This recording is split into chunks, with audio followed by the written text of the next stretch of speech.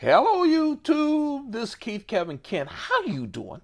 How you doing? I hope you're doing well. Well, we're continuing the series. This is the 15th part of the series of the knives that I bought in 2019. I started off this series with series 1 telling you just how I'm stunned at how many knives I bought in one year in 2019, and we're still going through them. Today, these are five small, just fantastic knives. They're designed great. They're, they're actually designed for use as well as good looks. And both of these designs, because today we're looking at the Spyderco uh, Dodo and the Poliwog. Um, I owned the first three uh, dodos that you see from the left. And then I sold all three of them to you guys during a trimming. And I missed them so much. And then I heard that Blade HQ was coming with an exclusive. And I lucked up and found someone who owned new in the box, never opened, the three um, the three dodos. So I bought those 2019, and then again, Blade HQ just released their exclusive, and that's the last of these four that you see in my hand. And then the poliwog, I added it in here because it's hard to find any other group of knives to add the poliwog, and I think it really fits. All of these knives were designed by Eric Glesser. You know, Eric Glesser is the son of Sal Glesser, the founder of Spyderco. And Eric really is a very good knife designer. These are funky, unique knives that he designed. So let's talk about them. We're getting close to finishing up this series. So, Blue G10, I'm not sure if this was a sprint run or one of the regular uh, production versions of the knife. But as you can see, this one is serrated. So obviously they offered both a serrated and a plain edge. Reverse S hawkbill blade. Kind of, as you can see, right? Kind of like the cricket this happens to be serrated. This is the only one you'll see that's serrated. But look at this. You have a full forward choil. There's not a lot of steel, so they did, this is probably like 80-20. 80% of it is in the handle. The handle is a lot bigger than the blade. And that's because They call this the little big knife, one of their little big knives. It fits like a big knife in your hand. You see that? Four fat fingers with a good grab on this, even though it's a small blade. And that's why that handle is like that. It's a very comfortable handle. It looks great, but it's also good for use. I mean, you can really get in there. And with that tip, and it's not a super thin tip either. It's a useful tip. Cut boxes or whatever you need, especially when you can pull it back because of that hawkbill blade. VG10 steel, made in the good old US in Colorado. This used a ball bearing lock, Spyderco's ball bearing lock. And what it has is they have this spring on on a spring this ball. And right now let's see. Let's pull it down. You pull it down and you can see it sprung up inside of the handle of the blade. That gives it it's very strong in there. No chance of moving. You bring it down and you see the blade? So now it's down there, squashed down with that spring. And then when the blade finally closes, it pops up again in this recess in the blade, which makes it a very tight close. I was so lucky to get brand new in the box versions of all three of them. This is with the blue G10 wire clip. You know, the wire clip is so popular now. It's one of my favorites. Um, but as you see on some of these older knives, that the wire clip has been around for a very long time from Spyderco. This is one of those smaller wired clips. Right hand, left hand, tip up only because of the ball bearing lock and everything going on. Just a super, super nice S30V steel. I'm sorry. Yep, S30V steel on all of the Dodos except for the Blade HQ exclusive, and we'll talk about that later. This orange Dodo is a sprint run. Sprint run comes from Spyderco, which means it's a limited variation on an original. And so the variation, this is still S30V steel, and the variation is the color of the G10, the orange G10. Other than that, it's just like the blue, except of course this is a plain edge instead of the serrated edge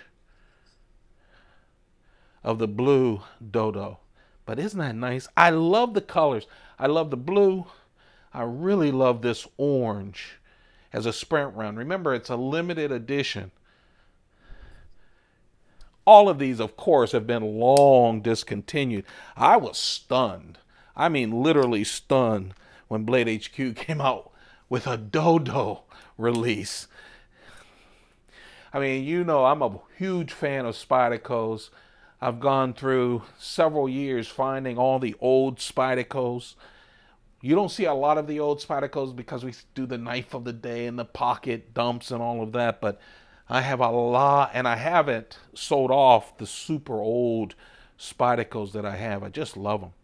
Now, this sprint run, of course, again, S30V, all of these made in Colorado in the good old USA. Of course, the obvious on this sprint run, again, it was the scales. This is carbon fiber. And instead of a stainless steel ball, you see the material for the ball bearing. Everything else is the same, including the clip. Now on Blade HQ, they actually, you know, no one ever writes numbers for sprint runs. we know they're limited. It's usually 1200, give or take a couple of hundred. Uh, on Blade HQ, in the description of this, they have that there were a thousand of them. I don't know if that's true or not. But that's in that sprint run kind of thing. Just hard to find. I'm so happy that I found it. And I love the nice, smooth, great carbon fiber with that ivory ball is just that porcelain kind of ball. I doubt if it's porcelain because it's not that strong, but it's just a wonderful ball. So those aren't no no those aren't the dodos because I haven't talked about this. This was the most recent Blade HQ exclusive from Spyderco.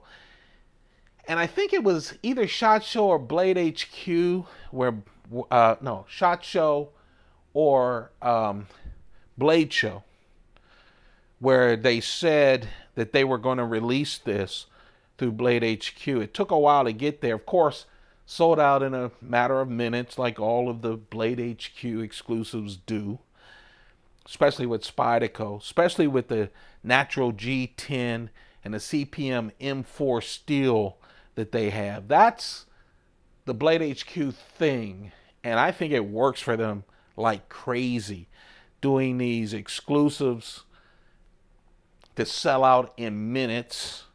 I'd love to know what the real numbers on these are. Great steel, of course, CPM M4 steel.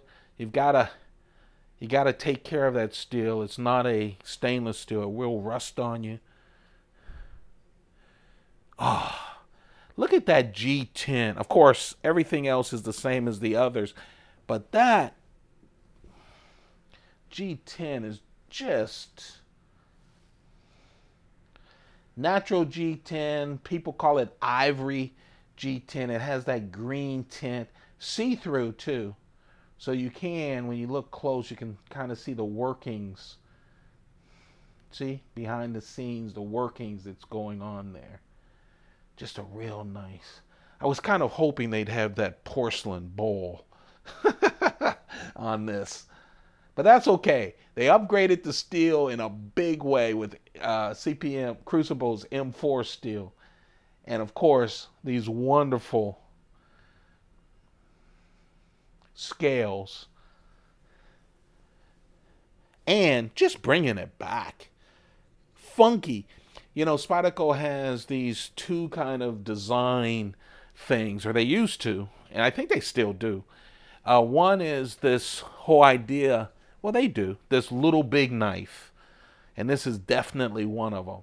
A little blade, but very useful. And in this case, with a big handle that fits nice and that reverse S with that belly. You know, that belly can do a lot of cutting. That's why it's not just a hawkbill blade. That belly adds a lot of surface that can cut. I just love this knife. And the other part of it, sometimes I'll do a knife like this and people go, that's such an ugly knife. Well, they also have this saying that they design things in the dark. They don't, obviously.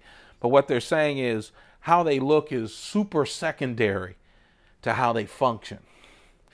But this is the Blade HQ, very limited, exclusive Dodo with Spyderco that just released at the end of 2019. And then I wanted to add this to it because I think it fits. Again, another another knife, little big knife. It's the Spyderco Poliwog it also fits the dodos because I owned a poliwog too and I sold it to one of you guys.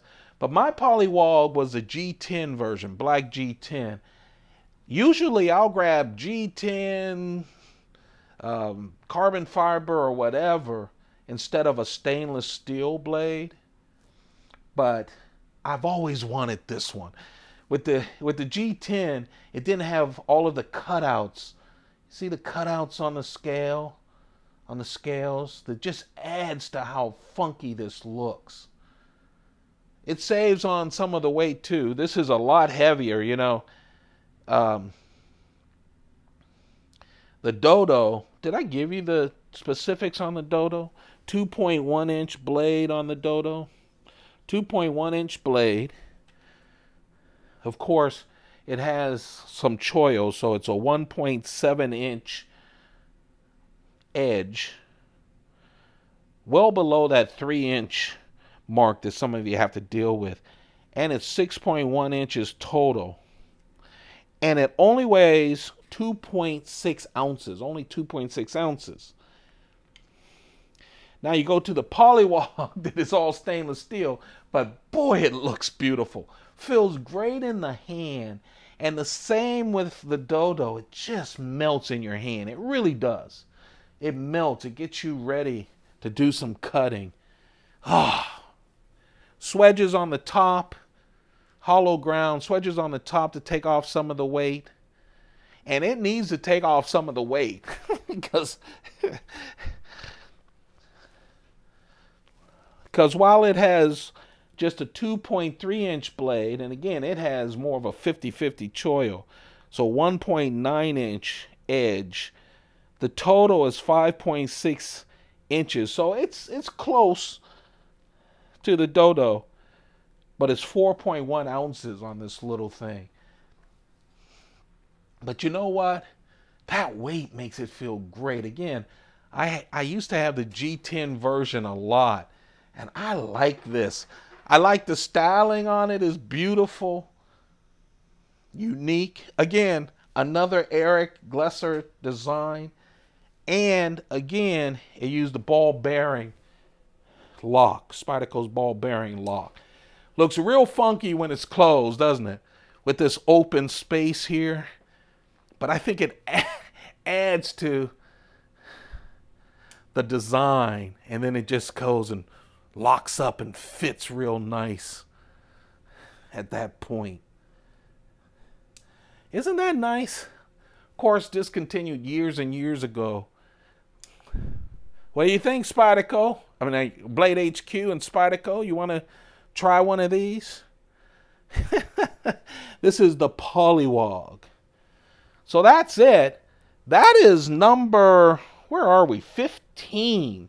Number 15 in this mini series where I'm counting down all the knives that I purchased in 2019. And as you can see, even with this one, uh, a lot of the knives are some of the knives, you know, in 2018, I started trimming my collection and sold a lot of knives on this channel, only to this channel. And I did it several times, I don't know, four or five times. 2019 was where I was missing a lot of those knives that I sold, and I bought a lot of them back. You'll see even more of them as we go forward uh, in the latter part of this mini series. But there you have it. The Spyderco Dodo knives and Poliwog that was purchased in 2019. If you enjoy this series, don't forget to thumb it up. Don't forget to subscribe. If you're not a subscriber, it takes two seconds. It just helps me out. Turn on your notifications because I do trim my collection from time to time, which means I give you good prices on some great knives. Okay? And take good care of yourselves. Keep those pockets full. Goodbye.